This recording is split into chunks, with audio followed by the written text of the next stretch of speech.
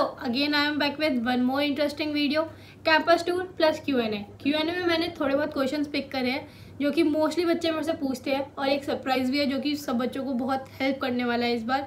So let's start with Q and A before starting Q and A let me show you today's weather आज जयपुर में बारिश हो रही है क्या? सुंदर मौसम हो रहा है let me show you so ये है मेरी रूम की विंडो का व्यू कितना ज़्यादा प्रिटी लगता है ना।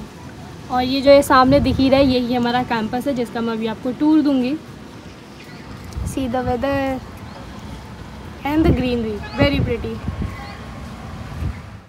so let's start with Q and and our first question is how is environment environment काफ़ी अच्छा है चिल है टीचर्स काफ़ी हेल्पफुल है, और रही बात ड्रेस कोड की हॉस्टल के अंदर तो ऐसे कुछ नहीं है कोई ड्रेस कोड और कैंपस के लिए हमारे पास है jeans trouser ethnic top shirts जो भी तुम लोग वेयर करना चाहो।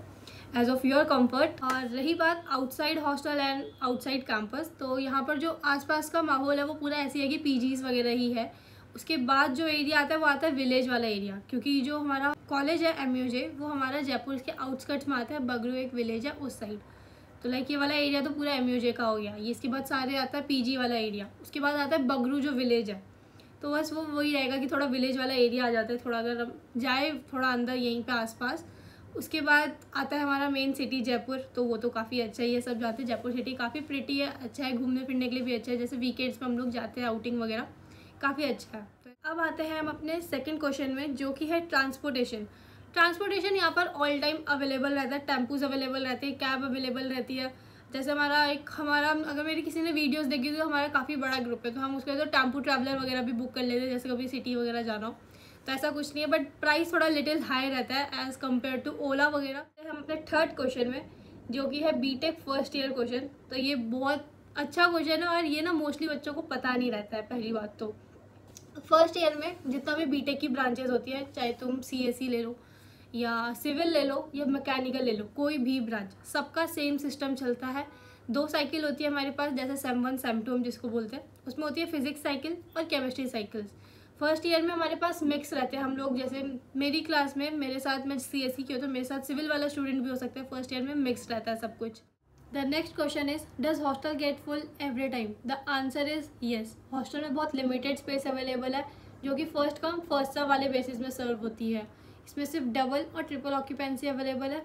फ़र्स्ट ईयर के लिए तो ओनली ट्रिपल ऑक्यूपेंसी जिसके रीज़न से ऑफ़ कैंपस चूज़ करना पड़ता है, इस रीज़न की वजह से जिसमें बहुत प्रॉब्लम आती है। लाइक ऑफ़ कैंपस में कहीं पे लोकेशन अच्छी नहीं मिलती है। कोई पीजी बजट फ्रेंडली नहीं होता है, कोई हमारी एक्सपेक्टेशंस मैच नहीं करती है। प्रीवियस ईयर ये प्रॉब्लम बहुत ज़्यादा आई है। तो इस ईयर हमारे पास एक सॉल्यूशन है, जो कि है My Livin app My Livin it is a app जिसमें सब हॉस्टल्स और पीजी की इन्फॉर्मेशन अवेलेबल है in your city and the team will guide you throughout the process while selecting the PG you just have to install the app tell them your desirable location expectations locations everything. They will suggest you the best and guide you throughout the process and the best part is there is no brokerage cost okay? There are some more details which will help you a lot. Free consultation number is available on their website and app both. User can call and the team will guide you properly and suggest the best according to your need and the budget. There is customer support. They will call you in regular basis or monthly if he or she faces any problem, their team member will come and fix it for them. The next thing is personal assistance in which user can fix the appointment through the website and the one member from the team will go with the student in every hostel until the shifting and full payment procedure. Then there is a discount part in which team will try to negotiate with the hostel and claim up to 10% off on the hostel booking and the gift voucher of 6000 on the top brands. So this is all about my living app. Go check out their app. You can install from App Store and Google Pay. Call this number to book your free consultation. This will help you a lot for sure. So let's move toward next thing which is campus tour. Let's start है campus tour और चलते हैं सब वे आज है Saturday तो campus almost खाली ही रहता है क्योंकि सैटरडे को ऑफ़ रहता है यूनिवर्सिटी का सो लेट्स गो तो जिन लोगों ने मेरा पुराना ब्लॉग देखा होगा उन लोगों को पता होगा कि मेरा जो हॉस्टल है वो इस साइड है और जो हमारा कैंपस है वो उस साइड है। तो वहाँ जाने के लिए हम हॉस्टलर्स को सबवे यूज़ करना होता है। तो चलते हैं सबवे की तरफ़। और ये है हमारा सबवे से चलते हैं अंदर।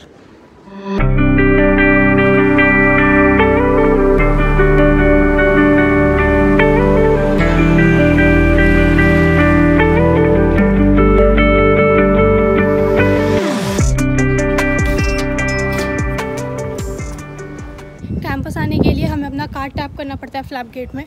सबसे पहले एंट्री करते हैं, ये हमारा मेन गेट जहाँ से डे स्कॉलर्स की एंट्री होती है। और ये है हमारा सबवे जहाँ से हम हॉस्टलर जा सकते हैं। बाकी ये पूरा पार्किंग लॉट है इधर, और उस साइड भी पूरा पार्किंग लॉट है। हमारे कॉलेज में ग्रीनरी बहुत है तो आपको हर जगह बहुत ज़्यादा ग्रीनरी देखेगी। सी चलते हैं हम डोम बिल्डिंग की साइड ये जो इस साइड है, ये है ए बी वन और वो है हमारी डोम बिल्डिंग एंट्री में ही है सबसे पहले यहाँ पर आई लव मणिपाल चलते हैं डोम बिल्डिंग की साइड डोम बिल्डिंग के अंदर बेसिकली हमारी है लाइब्रेरी और जितना भी फैकल्टीज़ वगैरह का काम होता है फाइनेंस वगैरह, वो सब हमारा डोम बिल्डिंग के अंदर हैंडल होता है। और ये है हमारी डोम बिल्डिंग की एंट्रेंस सबसे पहले डोम बिल्डिंग के एंट्रेंस में है कैफेटेरिया है हमारा डोम बिल्डिंग कैफेटेरिया उसके बाद हम आते हैं अपनी लाइब्रेरी वाली साइड जो कि कैफेटेरिया के एकदम राइट साइड में है। ये है लाइब्रेरी की एंट्रेंस यहाँ पर हम लोग रखते हैं अपने बैग्स यह है लाइब्रेरी की एंट्रेंस और सबसे पहले हमारे पास है पर्सनल स्टडी कैबिन और यहाँ पर जितने भी बुक शेल्फ है, सबके सब ब्रांच वाइज ऑर्गेनाइज है।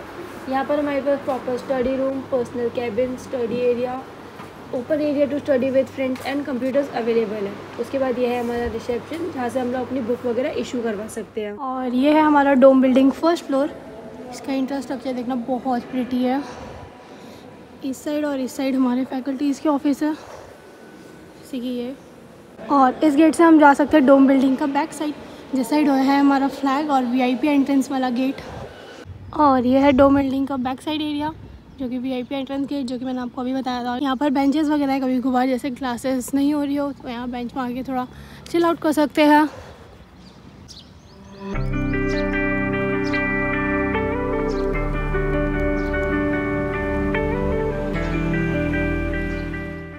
डोम बिल्डिंग से बाहर आते ही सबसे पहले आता है हमारे एकदम फ्रंट में, एकदम उसके अपोजिट में ग्रैंड स्टेयर्स और उसके ऊपर भी काफ़ी प्रिटी बैठने का एरिया है।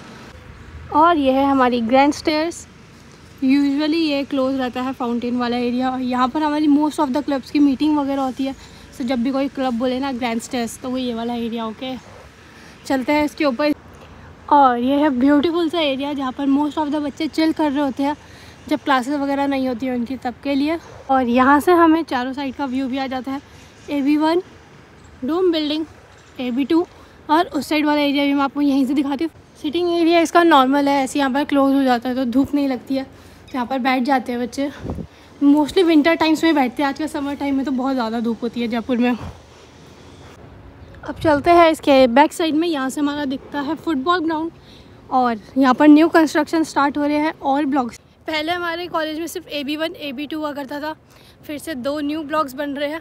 हॉस्टल्स में भी न्यू स्पेस बन रही है बच्चों के लिए, क्योंकि अब ब्लॉक्स बन रहे हैं तो हॉस्टल में भी स्पेस बनेगी। ये जो ब्लॉग्स बन रहा है, ये बन रहा है मेडिकल स्टूडेंट्स के लिए। सो मो maybe two three years में मेडिकल स्टार्ट हो जाएगा एम में भी, क्योंकि अभी मेडिकल नहीं है। ये है बैक साइड वाला एरिया यहाँ मैं जाऊँगी नहीं, क्योंकि कंस्ट्रक्शन का काफ़ी काम वगैरह चल रहा है। उसके पीछे जो वो है वो है हमारा फुटबॉल ग्राउंड वहाँ पर हमारा जो ऑल रॉस जो कल्चरल फेस्ट होती है एम की, वो वाले इवेंट्स होते हैं। ये है ए बी थ्री जो कि कंस्ट्रक्ट हो गया। यहाँ पर बन रहा है ए बी फोर इसके साइड में भी काफ़ी सारे वही बैडमिंटन कोर्ट्स टेनिस कोर्ट ये सब वहाँ पर कोर्ट्स वगैरह सारे के सारे आज इतनी ज़्यादा गर्मी है ना, पता नहीं मैंने आज क्यों सोचा कि मैं आज ब्लॉग बनाऊँगी। मेरे को जो सन बर्न होने वाला है, वो अच्छा खासा। अब चलते हैं ग्रैंड स्टेज से नीचे। चलते हैं ए बी वन और इसके नीचे। जो कि है ओल्ड मेस वहाँ वाले एरिया में। बार फिर से आपको एक डोम बिल्डिंग का एरिया दिखा देती है बहुत प्रिटी है। म्यूज़ियम में आपको बहुत प्रिटी प्रिटी जैसे कि ये बर्ड बैठी है यहाँ पर ऐसे और बहुत सारी अलग अलग चीज़ें दिख सकती है। सो so, ये है हमारा ए बी वन ये है हमारी ओल्ड मेस जो कि दो फ्लोर की है ग्राउंड फ्लोर फ़र्स्ट फ्लोर अभी तो शायद से जितनी भी चीज़ें होंगी वो क्लोज़ होंगी। स्टार्ट करते हैं ओल्ड मेस से यह है हमारी ओल्ड मेस इसका सेटिंग एरिया ऐसे नहीं होता है। यहाँ पर कोई फ़ंक्शन हुआ होगा तो उसके लिए पूरी सेटिंग एरिया उस साइड करा हुआ है। ये बीच में एक ब्यूटीफुल सा एरिया है ऐसे जाने के लिए। यहाँ पर भी पानी यूजुअली रहता नहीं है। सिर्फ़ प्रोग्राम्स वगैरह के टाइम पे। कैफेट एरिया जो ये ओल्ड मेस है, ये मोस्टली बच्चों से भरा रहता है। क्योंकि यहाँ पर फ़ैन वगैरह सब बच्चे जिनकी क्लासेस नहीं होती, यहीं आके चिल करते हैं। यहाँ पर है हमारा नेस्ट कैफ़े वगैरह पीछे बैक साइड में, जहाँ से हम अपने खाने पीने की चीज़ें ले सकते हैं। इसके फ़र्स्ट फ्लोर में भी ऐसी है, वहाँ डोसा वगैरह और वेराइटीज़ है खाने की। बाकी सेम ऐसी ही है। उसकी सिटिंग शायद से नॉर्मल होगी, मैं आपकी नॉर्मल सिटिंग दिखा देती हूँ। ये है ओल्ड मेस की नॉर्मल सिटिंग यूजुअली ऐसी रहती है टेबल्स पूरा उस साइड तक है। यहाँ पर हमारी शॉप्स वगैरह है, जो कि आज क्लोज़ है, क्योंकि आज सैटरडे है। और यहाँ पर ये प्रिटी प्रिटी पेंटिंग्स है दोनों साइड अब चलते हैं हम ए बी वन ये है हैंड वॉश वाला एरिया इसके बैक साइड में आता है हमारा वॉशरूम एरिया अब स्टार्ट करते हैं ए बी वन से। यहाँ पर हमारे फैकल्टी ब्लॉक्स लैब्स वगैरह और नॉर्मल क्लासेस चलती है। यहाँ पर मोस्टली सीनियर्स की चलती है फ़र्स्ट ईयर जो भी होगा उसकी चलती है ए बी टू जो कि ओल्ड मेस के उस साइड है। सो so, हम लोग एंटर कर चुके हैं ए बी वन में। ये है हमारा faculty of science and engineering ये हमारी सबसे पहले सेंटर में लिफ्ट है। उसके बाद जो ये है ये हमारे थर्ड फ्लोर तक है सी जब हम ए बी वन को हॉस्टल वाली साइड से एंटर करते हैं तो सबसे पहले हमारे पास पड़ता है एक कैफेटेरिया ये है ए बी वन का कैफेटेरिया यहाँ पर आई सी बैंक भी है, और ये है हमारा कैफेटेरिया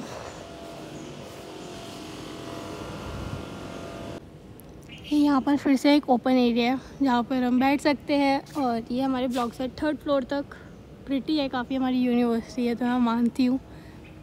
और क्लासेस वगैरह आज बंद है तो मैं आपको क्लासेस दिखाऊँगी किसी और दिन। ये है हमारी ए बी वन की मेन एंट्रेंस जो कि हमारी सबवे से आती है डायरेक्ट सामने। सबसे पहले एंट्री करते ही आते हैं हमारे पास हमारे कॉलेज का मैप ये जो मैप है, ये हमारा हॉस्टल वाला है।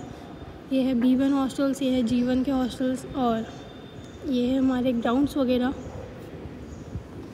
यहाँ पर एंट्री करते ही हमको यहाँ पर दिख जाता है सब कुछ कि कौन से फ्लोर में क्या चीज़ है तो हम इसे फिगर आउट कर सकते हैं। ए बी टू भी हमारा ऑलमोस्ट सेम है बट वहाँ पर हमारा M P theatre open theatre जो होता है, हमारा एक वो है, और जितने भी ऑडिटोरियम्स वगैरह है, वो भी वहीं हैं। तो वो तो अभी क्लोज़ होंगे बट मैं आपको पी थिएटर दिखाती हूँ हमारा, जिसका नेम है रामदास पाई अब हम एंटर करते हैं अपने ए बी टू में, और इस साइड इस साइड जो मैंने ग्राउंड वाला एरिया ऊपर से दिखाया था, इसके ऊपर से वो उस साइड है। अब हम एंटर कर रहे हैं अपने ए बी टू में। ए बी टू में एंटर करते ये है हमारे सामने एक ब्यूटीफुल पेंटिंग इसके सामने आता है हमारा ये, इसमें हमारा पूरा माप के बना ये है हमारे गर्ल्स ब्लॉक ये बॉयज़ ब्लॉक यह आता है हमारा कैंपस जो कि है, ये है dome building A B one ये बीच में ओपन एरिया फिर A B two back side area पता नहीं, उसके पीछे जो ग्राउंड है, शायद से ये A B three A B four होगा. एंटर करते हैं, यहाँ पर आता है हमारा शारदा पाई ऑडिटोरियम जो कि क्लोज़ है ऑब्वियसली ये आता है हमारा Ramdas Pai M P theatre जिसकी एंट्री है इन स्टेयर्स से. ये है हमारा Ramdas Pai M P theatre ये उसकी पूरी सिटिंग एरिया है। यहाँ पर हमारे मोस्ट ऑफ़ द जो कल्चरल फेस्ट वाले इवेंट्स होते हैं डांस वगैरह, वो सब यहीं परफॉर्म होते हैं। टू में हमारे पास दो कैफेटेरिया एक है ये वाला एरिया इस साइड हमारे पास सारी क्लासेस वगैरह है। यहाँ पर हमारे पास वॉशरूम वगैरह भी है। ये शाहदा पाई की दूसरी एंट्रेंस है। ए बी टू हमारा थोड़ा बड़ा है, क्योंकि यहाँ पर एम्पी थिएटर ऑडिटोरियम वगैरह, ये सब चीज़ें भी है। और इसमें एक ग्राउंड फ्लोर के बाद भी एक अंडरग्राउंड फ्लोर एक्स्ट्रा है जहाँ पर साइकोलॉजी का मोस्ट ऑफ़ द चीज़ें चलती है। टू के बैक साइड में भी एक एरिया है वो है हमारी मैकेनिकल लैब्स वगैरह। वो सब भी अभी क्लोज़ होंगी तो उस साइड जाके अभी फ़ायदा नहीं है। सो so, ये है हमारा लैब का इंटीरियर यहाँ पर हमारी लैब्स वगैरह चलती है। अभी मैं आपको एक क्लास का इंटीरियर दिखाती हूँ। या यहाँ पर एक स्मार्ट क्लास भी रहती है बट इस वाली क्लास में नहीं है। ये हमारा प्रोजेक्शन वाइट बोर्ड के लिए और इसमें लिखने के लिए भी है। और ये हमारी नॉर्मल क्लास आजकल सिटिंग अरेंजमेंट ऐसा हो गया क्योंकि एग्ज़ाम्स चल रहे हैं, नहीं तो नॉर्मल ऐसे रहते हैं फोर और फोर के side so this is the overview of our campus hope you like it and don't forget to check out my living app all the details are in the description box hope you like my blog like share and subscribe my channel और मिलते हैं अगले blog में. जल्दी ही. Bye bye